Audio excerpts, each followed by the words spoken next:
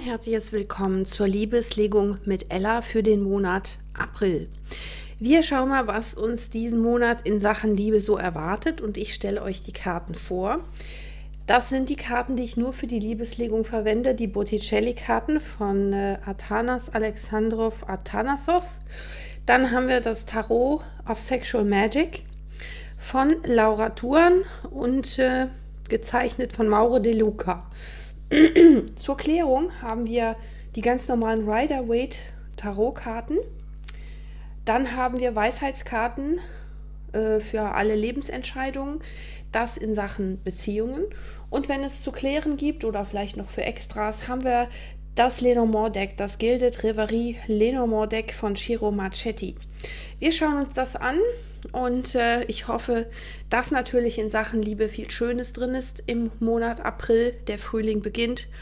Und ich wünsche allen eine gute Gesundheit und natürlich, dass allen Lieben gut geht. Und dann schauen wir uns mal an, was wir für den Monat April so haben.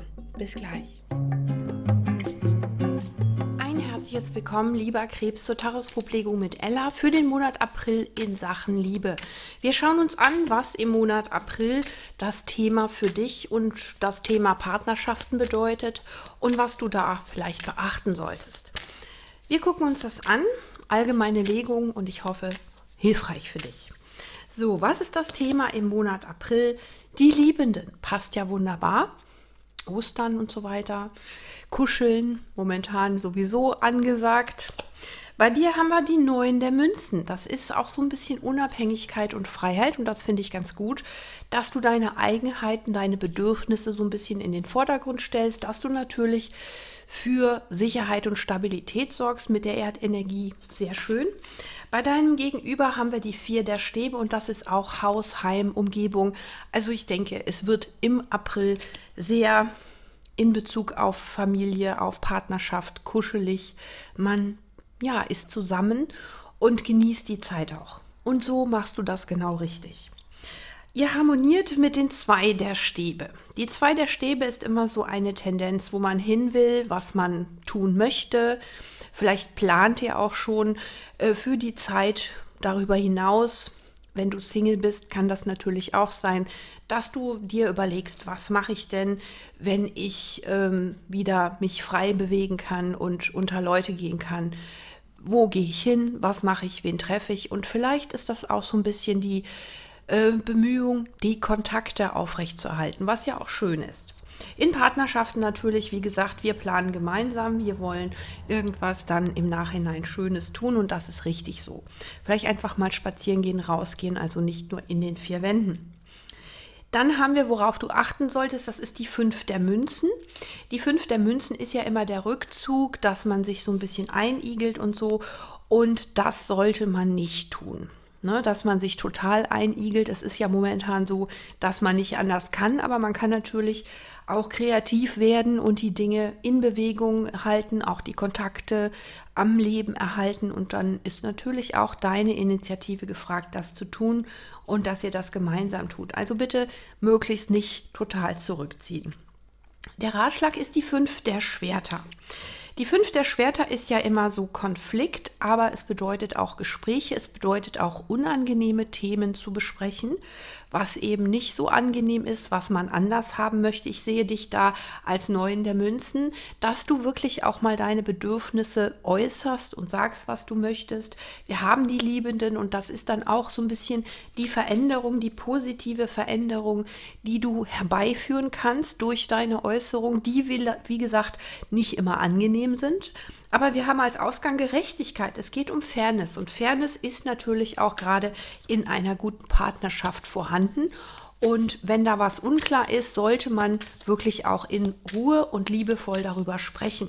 Und die Tendenz ist ja auch, man überlegt, wie man Dinge angehen kann, verändern kann. Und dein Gegenüber ist eben auch ähm, darauf bedacht, dass das alles harmonisch verläuft und sich entwickelt. Das ist sehr schön, lieber Krebs. So, wir gucken mit dem zweiten Kartendeck. Was haben wir bei den Liebenden? Die neuen der Kelche, die Wunscherfüllung. Und die Wunscherfüllung ist ja nur möglich, wenn du auch sagst, was du möchtest. Dein Gegenüber natürlich auch. Wenn man sich dann in der Mitte trifft, sodass jeder so, ich sag mal, zu seinem äh, Ziel kommt, Ja, man kommt sich auf halbem Wege entgegen. Bei dir haben wir die neuen der Münzen. Das ist eben, dass du deine Bedürfnisse, deine Belange auch berücksichtigst und daran arbeitest, dass die auch Gehör finden. Und mit den drei der Münzen bist du eben auch kompromissbereit zur Teamarbeit. Ja, und das finde ich sehr, sehr schön. Ich denke, dass du durch die Gespräche, die vielleicht auch unangenehme Themen betreffen, wirklich auf deine Kosten kommst tatsächlich, eben in liebevoller, freundlicher Art. Dein Gegenüber hat den Eremiten, das ist so diese Karte, ich muss mir was überlegen, ich will mir was überlegen, ich gucke, was ich dazu beisteuern kann. Das ist auch Erdenergie, pragmatisch.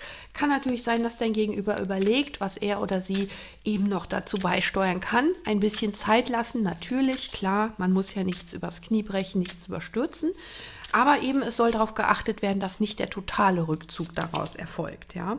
Wir haben die zwei der Stäbe, das ist eine Tendenz, das ist das, wie er harmoniert, und die zwei der Münzen. Das heißt, ihr habt das noch nicht ganz ausgelotet im April oder du als Single hast es noch nicht ganz ausgelotet, was du machen willst, aber du hast Zeit, dir das zu überlegen und ich denke, dass wir auch noch ein bisschen Zeit dabei, dazu haben, für uns selbst erstmal zu überlegen, wo wir hinwollen. So, die fünf der Münzen, das ist, worauf du achten solltest, dass es eben nicht der Rückzug wird, also dass man eben sich nicht total zurückzieht. Und die acht der Stäbe ist eben das, was ich auch sagte, dass man auf andere auch ruhig kommunikativ zugehen kann, dass man eben auch so ein bisschen, ja, die Initiative ergreift. Also einfach mal jemanden anruft, wie geht's dir, was machst du und so weiter. Ne? Das ist auch sehr wichtig, gerade in solchen Zeiten, dass man eben nicht so den Draht verliert zu anderen. Ne? Auch wenn die anderen das vielleicht nicht tun, aber du bist da mit den Karten auch dazu aufgefordert. Nun haben wir hier den Ratschlag, auch über unangenehme Dinge sprechen und da haben wir noch den Mond. Und der Mond ist ja dein Planet sozusagen, da gehört der Krebs dazu. Sensitivität, aber auch Stimmungsschwankungen. Und das heißt auch, dass du tatsächlich auch mit dir selbst ins Gericht gehen sollst, natürlich nicht hart, aber dir selber auch eingestehen sollst, naja, ich bin ja auch von meinen Stimmungen ziemlich abhängig und vielleicht ist das für manche zuweilen auch mal zu viel, ja, dass man eben ähm, ja übertrieben hat, zu dramatisch war. Das kann passieren und dass dir das klar ist und dass du dann auch bereit bist, daran was zu ändern. Aber auch bei deinem Gegenüber. Vielleicht hat auch dein Gegenüber was in den falschen Hals bekommen. Das kann natürlich auch sein. Also der Mond ist, sich mit den positiven und negativen, sensitiven Eigenschaften zu befassen und darüber zu sprechen. Es ist vielleicht nicht ganz angenehm, darüber nachzudenken nachzudenken, zu sprechen, aber es bewirkt etwas Positives, nämlich Fairness untereinander. Und da haben wir auch den Knabe der Schwerter. Das ist eben auch Kontaktaufnahme, das sind Gespräche, das sind auch Informationen, die man von sich aus weitergibt oder erhält vom Gegenüber. Das ist sehr schön, weil dadurch erfährst du ja mehr darüber, wie dein Gegenüber tickt, beziehungsweise wie dein Gegenüber das auch auffasst, was du sagst und tust und was deine Stimmungen betrifft. Ja. Schauen wir jetzt mal, was wir in der Partnerschaft für den Krebs als Orakelkarte haben in Bezug auf Beziehungen. Da haben wir Chaos und Konflikt. Das ist die Nummer 33. Ich schaue mal, was das bedeutet. Chaos und Konflikt heißt ja nicht, dass es so ist, sondern dass man daraus eine Lehre zieht, dass man was daraus umsetzen kann, verändern kann.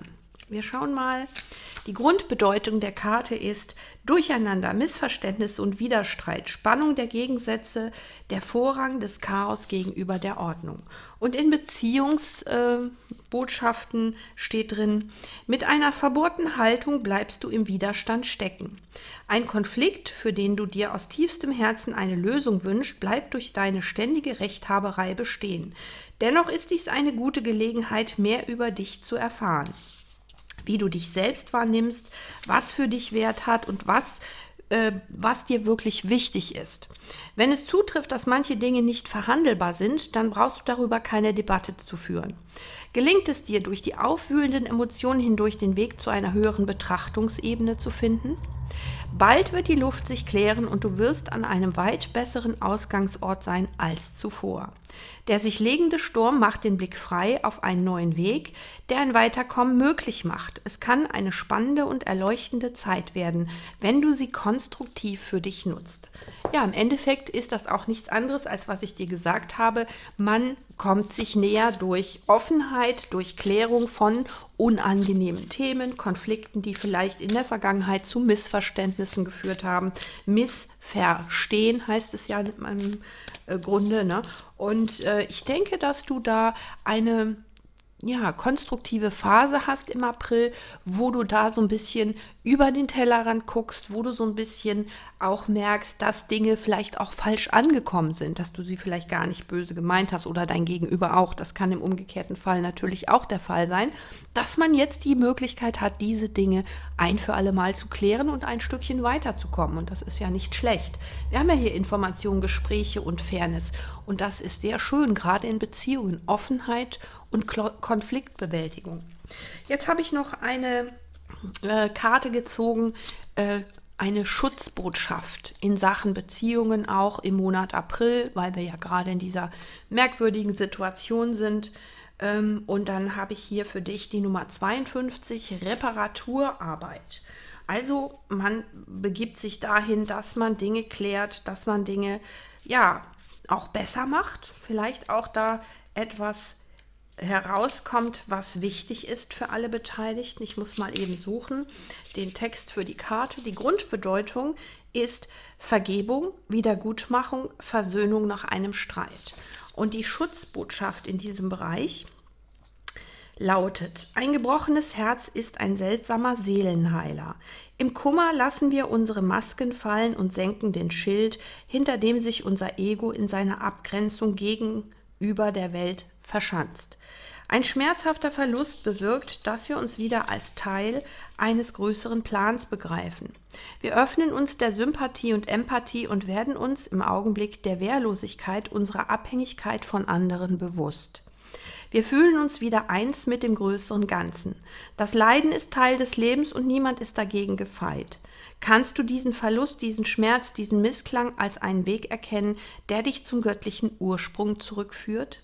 Lass den Kummer dein Herz aufbrechen. Du wirst nicht im Stich gelassen, sondern wirst geliebt, jetzt mehr denn je. Das göttliche Prinzip wird dich nicht dem Gefühl der Einsamkeit überlassen. Eines Tages wirst du zurückblicken und diese Wahrheit erkennen. Wow.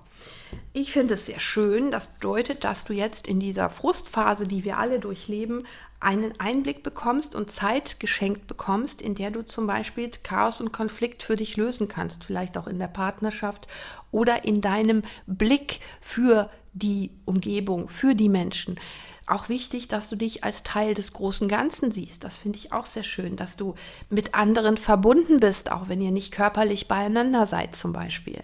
Also sehr schön und es ist halt die Phase, die du konstruktiv nutzen kannst für dich. Du kannst große Einblicke gewinnen und das finde ich auch sehr schön und das ist Teil vielleicht äh, des göttlichen Plans, dass wir uns alle wieder bewusst werden, dass wir doch voneinander abhängig sind und dass wir einander brauchen. Und das muss ja auch nicht schlecht sein, das kann ja auch sehr schön sein.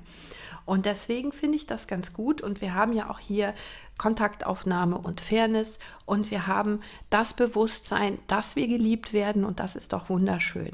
Mein lieber Krebs, diese schöne Botschaft gebe ich dir mit auf den Weg für den April. Ich hoffe, du kannst da möglichst viel mit anfangen, viel für dich umsetzen, verändern, positiv und dann auch ein bisschen Kraft daraus ziehen. Ja, diese Zeiten gehen auch vorbei und dann wird es wieder ein bisschen offener und beweglicher, sage ich mal. Aber im Moment ist es halt auch eine Möglichkeit, diese Zeit ja wirklich produktiv zu nutzen für dich persönlich und natürlich im Kontakt mit anderen. Ja, viel Erfolg dabei. Ich bin gespannt, ob und was du mir berichtest. Ich würde mich freuen. Und dann sehen wir uns, wenn du magst, im Monat Mai wieder. Alles Liebe für dich und bis bald. Lieber Krebs, bevor wir es vergessen, wir haben auch noch eine Lenormand-Karte für dich für den Monat April und wir haben die Lilien. Die Lilien ist eine schöne Karte, bedeutet auch körperliche Liebe, Zuwendung, Partnerschaft. Also es wird alles positiv bestrahlt. Und ich denke, dass du daraus etwas Schönes für dich und deine Partnerschaft oder potenzielle Partnerschaft, wenn du Single bist, auf jeden Fall machen kannst und sollst. Ja? Nutze diese Gelegenheit, ähm, ja, positive Energien für dich umzusetzen, zu äußern und dann natürlich auch deine Wünsche zu äußern, was du möchtest in der Partnerschaft von deinem Partner, das wirklich auch ja, rüberzubringen und dann im Monat April entsprechend zu genießen. Also, mach was draus.